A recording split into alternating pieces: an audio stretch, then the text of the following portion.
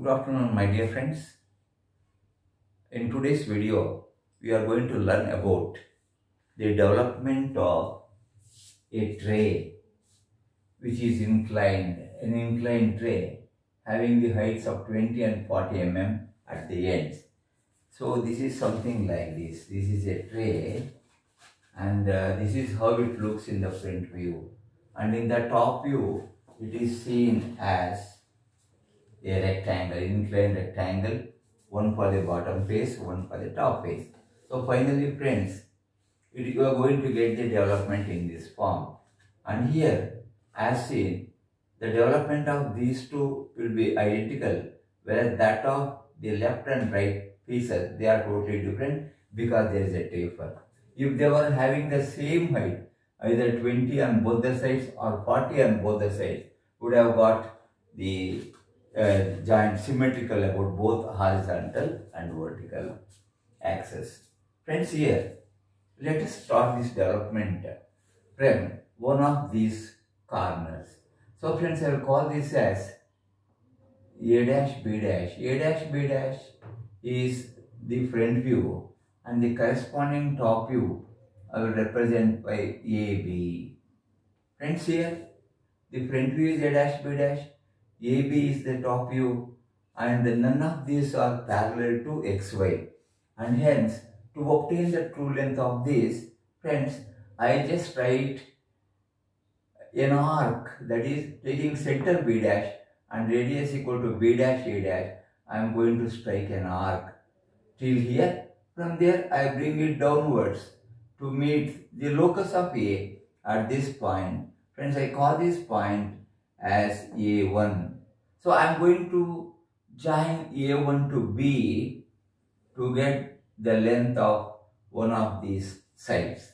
Similarly friends, on the other end if you extend it further downward like this, you can have the point here and you can join this here and get the development of one piece on the left side that is the development of this piece. What I have got here is the actual development. Friends, on the same lines, let us consider this line. So we will call this as C dash D dash.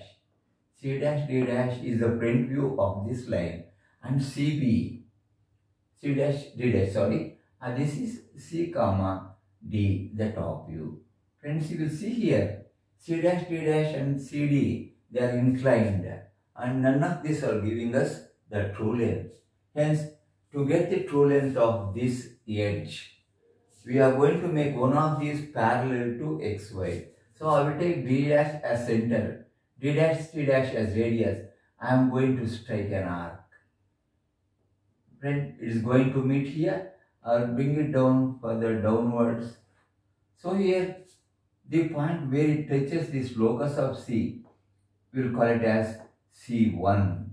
So friends, if you are joining this, that is, I have made this horizontal like this.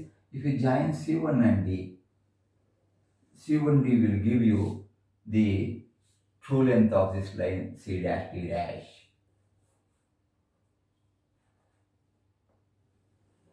So friends, this we will call as C1. Similarly friends, similar to what you have done here, I am going to extend a line from there downwards till here. It will meet the locus of this point here. Join that. Friends, this piece will give you the development of the second half, that is the bigger part. This is how it is looking like a trapezium you have got. Friends, I told you in the beginning of the uh, video that these two will have the same development because it is symmetrical about the horizontal axis. Friends, what do we do now? I have this center D, radius D1 is here. Now, friends, I take D as center, DC1 as radius. I just draw an arc here to get it. Before that, friends, we have completed this part and we have completed this part. We need to draw the development of the other part. Friends, here just see we have this center, this as the radius, I will draw an arc. So, I will extend this line from here. this arc is touching this line and we join these two. These two lengths will have the same radius. Similarly friends on the other end follow the same procedure. I am going to draw an arc like this and join this to this.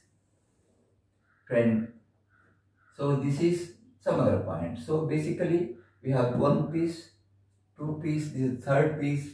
I am going to take B as center, B as radius, going to strike an arc here. Friends, we will join that to this point. So finally, if you join this point and this point, you will get the development of the larger face. That is, this is how it is looking. This face. This face is seen here. Friends, finally, follow the same procedure and obtain the last piece here. That is, extend a line from here and then now with this as center we can write an arc. It will meet somewhere here on this line. Join this. Finally join these two. Friends, this is the development of the top and bottom half. So these two will be exactly identical and these two will have different dimensions but both will have trapezoidal shape.